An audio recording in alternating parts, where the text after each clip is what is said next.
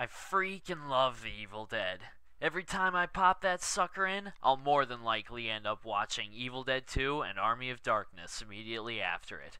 Bruce Campbell is, without a doubt, the grooviest horror movie hero and has some of the most quotable dialogue in horror movie history. Shop smart.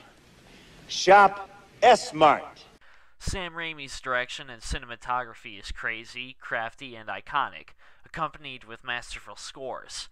Not to mention, each movie is completely different in tone from the previous, so if you can't dig one of the entries, you've got another shot with the next. And yes, there is a musical. And it's pretty freaking awesome, too. God, do I love this psychotic series. So, along with everyone else, I was intrigued and shocked by the content of the trailer for Evil Dead, the reboot, reimagining, weird, distant sequel of the franchise. And in my typical style, I saw it way after its release and hype.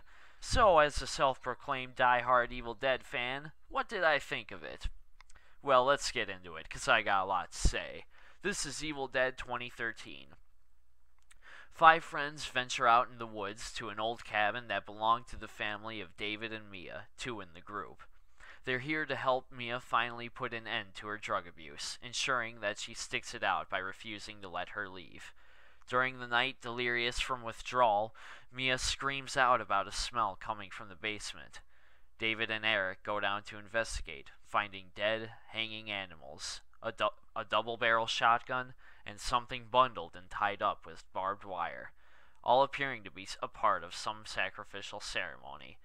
Despite better judgment, Eric opens the bundle, finding a bizarre book, and unwittingly unleashes an evil upon their little cabin in the woods by reading from the book's pages. Directed and co written by Fede Alvarez and produced by Sam Raimi, Rob Tapert, and Bruce Campbell, director, writer, producer, and star of the original, respectively, Evil Dead 2013 is more or less a retelling of the story in the first film, but it but a lot of theories popularized by a statement from Alvarez suggests that this film could actually be a distant sequel. He suggests that it could be the same cabin that was fixed up by a family after the events of Evil Dead 2. I mean, the same car, Sam Raimi's Delta 88 Oldsmobile, is there, all rusted and grown over. But that is where the theory falls apart for me. I mean, I could believe that a similar group of young adults would fall into a near identical situation as Ash and his friends, maybe, but that car shouldn't be there then. It should be in 1300 AD, or in a cave somewhere, depending on which ending of Army of Darkness you follow. I know that's a super nerdy thing to analyze, but consistency is key in sequels. Even though the Evil Dead franchise has never been known for its consistency. Nevertheless, for me, Evil 2013 is still a reboot. Well, now that I got that out of the way, the rest of the plot is pretty much teenagers constantly screwed for 90 minutes in a cabin in the woods. And in that sense, it really feels kind of like a throwback horror movie, which I can really dig. The acting in this movie is fair, but not as memorable as the cast in the original. Jane Levy leads the cast as Mia, who can, you can really sympathize with because she's a troubled person trying desperately to do the right thing who just so happens has to deal with ancient curses and demons on top of it. Shiloh Fernandez plays David, her older brother, who's conflicted with his past, trying to help Mia, and doing what's best for her. Also, he's got to deal with the demons too. Lou Taylor Pucci plays Eric, who really makes this movie feel old school. I mean, just look at the guy. He looks like a generic 70s stoner. But I digress. Jessica Lucas and Elizabeth Blackmore complete the cast, but there isn't a whole lot to say because they're given not given a whole lot of time to shine and really aren't that interesting. The cinematography in this movie is fantastic. Fede Alvarez may have came out of nowhere, but he knows how to shoot a movie. The POV of the entity roaming the forest is intense and a perfect homage to the original trilogy. Each shot is framed perfectly and makes you feel alone and secluded in this cursed patch of forest and the constant rain and gnarled trees just puts you in that mood for a good horror movie. The cabin is once again a perfectly creepy setting for all kinds of scares and carnage. Roque Baños does a fantastic job with the score, giving Joseph LaDuca a good run for his money. It's disturbed and haunting, just like the film it's built around. My favorite piece is the one that plays over the credits.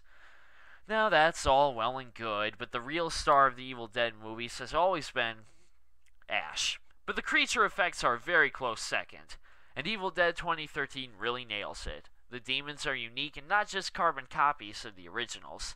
They're real nasty looking, and the glowing yellow eyes are hauntingly unnatural. Now, let's get down to the bone.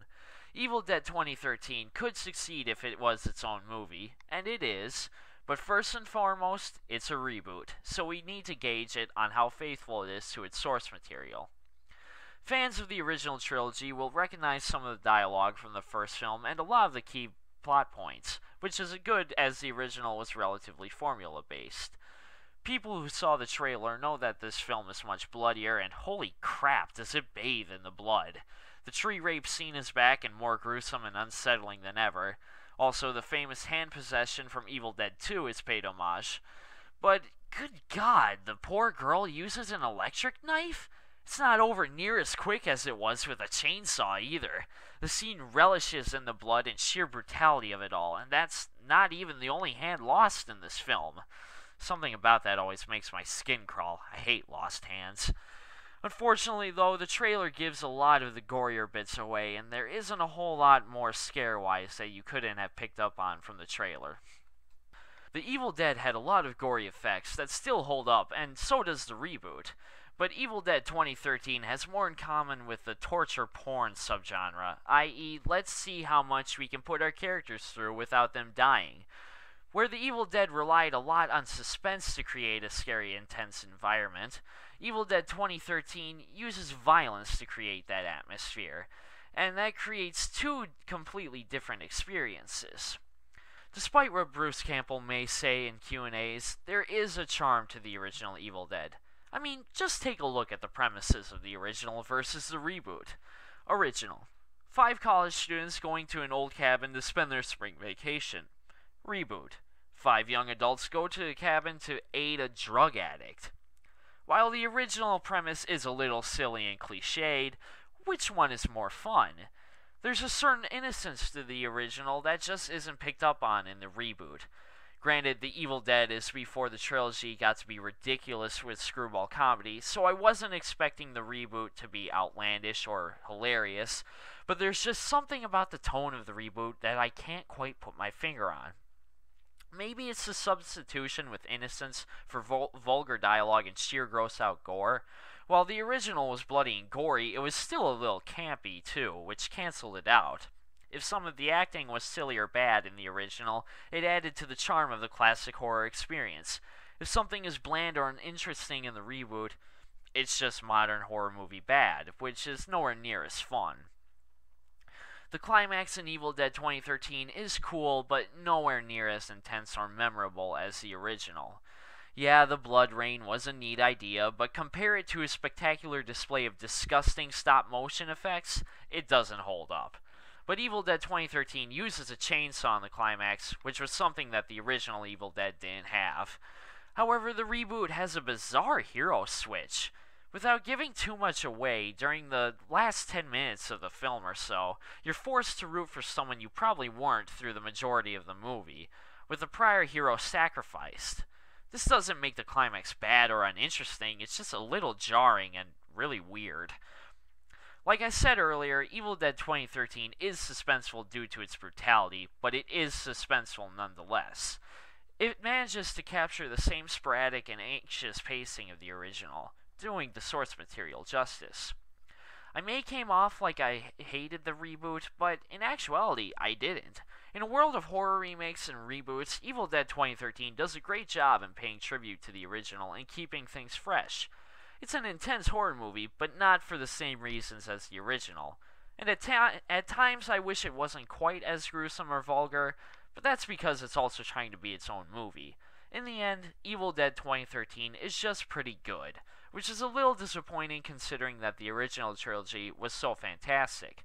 I don't despise it like a lot of fans do, although I can see why some do. I'll definitely be watching it again, just not as often as I will the original trilogy. I guess I just need a chainsaw hand, a boomstick, and a quote about hailing to the king. Hail to the king, baby. To be satisfied in an Evil Dead movie. I give Evil Dead 2013 4 box knives out of 5, meaning it's relatively groovy. That is my diagnosis. And P.S. Watch during the credits. You'll thank me later.